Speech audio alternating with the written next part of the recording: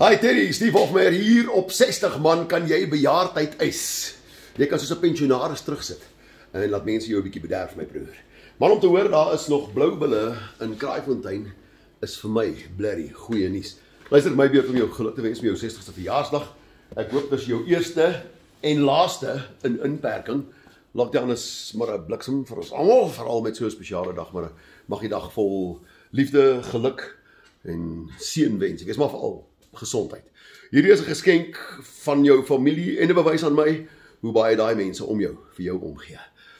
Aangesien jy 'n bil is, 'n blou bil is natuurlik. En en ek toevallig ook het ek vir jou ietsie wat jy kan speel vir daai klomp stormers pelle van jou in Kraaifontein.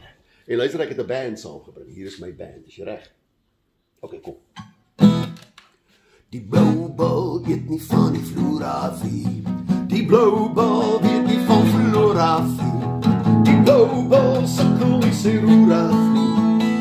Vra jy my vir wie ek skree.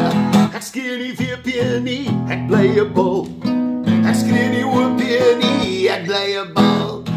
Ek skree nie vrystaat nie, ek bly 'n bil. Let's down die sharks en die